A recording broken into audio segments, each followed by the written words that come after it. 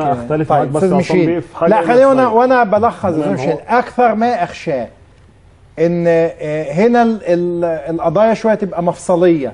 بمعنى إن أنا عندي ضحية وعندي جاني بغض النظر عن حدود ما ارتكبوا إيه يعني. أنت شايف عايز تسميه مسميات مختلفة لكن آه، في كل الأحوال أنا أمام واقعة آه، فيها واحدة واقفة وفيها أنت بتقول ده سلوك خاطئ بتسميه سلوك خاطئ يبقى أنت شايف ان أنت تخطئه في كل الأحوال. الاستاذ عصام يجرم ده وشايف دي جريمة وفقا للقانون يعني. آه، أكثر ما أخشاه آه، إنه تعاطفكم بهذا الشكل. يفتح بابا لإدانة البنت دائما ولحمل الشباب على الأعناق إذا فعلوا ذلك. يا أستاذ أنا شرفت باستضافتي في برنامج حضرتك بصفتي قانوني فبتكلم من خلال القانون مش من خلال السلوكيات. ولكن أنا بتكلم في نقطة بس مهمة في تساؤل بس عندي. آه، آه، حضرتك بتقول أو الموجود فعلا إن بعض ال- البنات أو السيدات بيخشوا إن هم يتقدموا ببلاغات عشان سمعتهم. طب يعني هي البنت في حالتنا هنا منا خشت إن هي تعمل بلاغ فيشوف البلاغ ده 20 30 40 50 واحد وقد يسيئوا لسمعتها. وعملت فيديو شافوه ملايين أو حطها على صفحتها اللي هي اللي وارد يشوفوه ملايين وما خافتش على سمعتها. برضو- كان الاحسن إنها تسلك. الطريق القانوني وتاخد. حكم قضائي لو بالنسبة أكثر ما اخشاه إن أنا أشوف بسيب القضية الأساسية وببتدي أبحث عن هي كده ادانت عن نفسها. عن ثقوب عند أيوه البنت. ما أنا ليه؟ عشان عملت تصرف ما هي كمان عملت جريمه انت لا ما هي عملت جريمه إحنا بندين إحنا بندين تركيزك انت تركيزك على إدانة البنت يا أستاذ ما عشان هي عملت جريمة. إيه الجريمة اللي عملتها؟ هي عملت جريمة. هو طبعا ما هو هي هو فندم نشيله على الأعناق. يا فندم. إحنا نقول عليه عمل جريمه لما. ياخد حكم. أنا بتكلم. فيها دلوقتي. أنا هي هجاوب دلوقتي على لما. شهر. هجاوبك. يا أستاذ هجاوبك، أنا هجاوبك. أنا لما شهر بحضرتك اديني فرصة. بقول على. حضرتك ما لسه بتكلم قلت عصام. سؤال. أنا ما أنا ما كملتش انت سألت بس سؤال هو أنا جاوبك بقى أنا جاوب آه أفهم من هذا بأن لو سيدة تعرضت للتحرش أو الملاحقة أو التتبع و و وسلوكياتها أو التربية بتاعتها زي ما الأستاذة قالت إنها مش قادرة تقف تقول له احترم نفسك وغير راضيه. وخدت بعدها ومشيت تقدم بلاغ. ده مبرر لا وخدت بعدها ومشيت ده مبرر بكلام حضرتك بأن اللي هو بيلاحقها ده تقول لا ما انت ارتضيت اهو ما انت ما ما نهرتهوش عندناش ملاحقه هنا يا اتعكس. أنا تاني وتالت. دي ما عندناش ملاحقه رد عليا. في الواقعه هي لم تتقدم ببلاغ.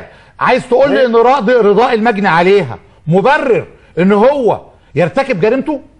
فين الجريمة يا أستاذ عصام؟ ده تفسير حضرتك. ممكن أختلف مع عايز يا أستاذ وائل قد تختلف المحكمة نفسها بدرجاتها محكمة أول درجة بالاستئناف بالنقط في تفسير نص المادة بتاعة القانون نص المادة هنا قالت لابد من وجود ملاحقة جنسية تلميحات جنسية أو إباحية. لا يا أستاذ. قد يختلف القضاه نفسهم. دي إمتى بقى 316 نقول؟ يبقى الكلام مكرر. قاطع. طيب. إيه إمتى يبقى الكلام قاطع؟ بحكم قضائي حاسم نهائي كلامك هنا بقى الناس هنا اللي لا يا فندم لا والله. يا أستاذ دي قانونية. لا يا فندم أنا بقول لحضرتك 316 أنا بشجع الناس. هي تقدم اللي بلاغ هي التحرش الجنسي يا أستاذ وائل لا. 316 اللي فيها التلميحات الجنسية دي 306 بتكفي. 306 يا أستاذ أنا. بقول 300 306 ستة مقرر مقرر به. ألف. مقرر ألف وب. يا وألف ما هي يا نص أستاذ هي. بيني وبينك نص يا أستاذ. الفاضل تاني يا فندم أقول معلومتي نص المادة بتقول يا- باتيان أمور أو تلميحات جنسية أو. اباحيه يا أستاذ. هنا اختلفنا في تفسير نص أنا الماده القضاء ده اللي بقوله يا أستاذ وائل يفصل يا أستاذ القضاء وائل. مش يا فيديوهات يا أستاذ وائل هناخد حقيقه يا فيديوهات أستاذ طب اللي وائل ما عندهاش. موبايل تعمل إيه؟ خلاص خلصت اللي ما عندهاش موبايل يا أستاذ وائل تعمل إيه؟ 50 سنه 2014 اللي معهوش موبايل فيه تصوير أو إيه يا كاميرا وائل؟ اللي ما عندهاش مساحه على يا الموبايل تعمل إيه؟ اللي ما عندهاش مساحه على الموبايل تعمل يا إيه؟ أستاذ مش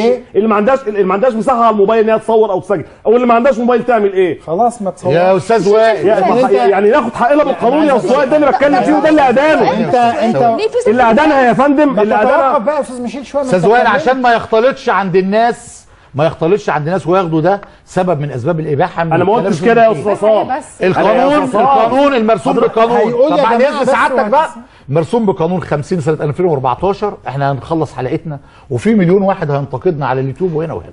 مرسوم بقانون جمهورية مصر العربية اساتذتي اللي اتعلمت منهم. قاعدين وبيتفرجوا علينا مرسوم بقانون 50 سنة 2014 أضاف مادتين. عدل المادة استبدل ماده المادة الأولى اللي هي 306 ألف مكرر ألف أيوة، أيوة. وفي 300 ما إحنا قلنا- قلنا وفي ده. 306 مكرر ب دي أضيفت آه. التحرش الجنسي به اللي هو إذا قصد من المعاكسة ها منفعة جنسية. منفعة جنسية تمام. الأولانية أيوة. ما بتشترطش منفعة جنسية لا يا فندم، اللي هو- هي إيه طب ما- اللي هو التعرض اقرا لي نص المادة يا يا أستاذ. أستاذ خليني أكمل طب كلام اقرا نص اللي هو المادة. التعرض يا المادي عصام بيقرا نص المادة خد يا. أستاذ وائل اقرا له أنت أيوه لا آه، أيوه اقرا حضرتك اللي يا أستاذ نص وائل المادة 300 اللي هي فيها اقرا يمكن أنا ما بفهمش قانون ما حدش قال كده يا أستاذ ما هي يا أستاذ أنا بقول لك معاك في التفسير نص أستاذ المادة. أهو يا أستاذ دي 316 306 306 مقرر وستة عليه مش 16. يعاقب بالحبس مدة لا تقل تمام. عن ستة ده التعرض المادي العادي. وبغرامة لا تقل عن أيوة. 3000 جنيه ولا تزيد على 5000 جنيه أو بإحدى هاتين العقوبتين أيوة. كل من تعرض للغير أيوة. في مكان عام أو خاص أو مطروق أو مطروق بإتيان أمور أو إيحاءات أو تلميحات جنسية أو إباحية سواء بالإشارة أو بالقول أو أهو. بالفعل. بأي وسيلة بما في ذلك وسائل الاتصالات السلكية أو اللاسلكية. تمام. اشترطت المادة أن تمام. تكون ثواني أن بس. يكون التحرش مقرونا. اشترط أن يكون مقرونا بإباحة- بتصرفات إباحية وده اللي بتكلم فيه. طب ما هو إتيان أمور. أستاذ وائل يا أستاذ وائل. اي أمور بقى هنا التفسير. حكم النقض يا- ده. يا أستاذ وائل التفسير. حكم النقض ده. دلوقتي يا جماعة. يعني يا يا أستاذ ميشيل.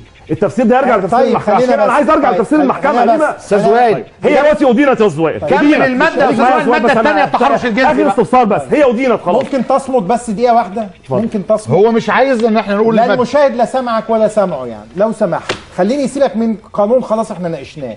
هو قال وأنت قلت يعني. مجتمعيا من الأحق بالإدانة هنا؟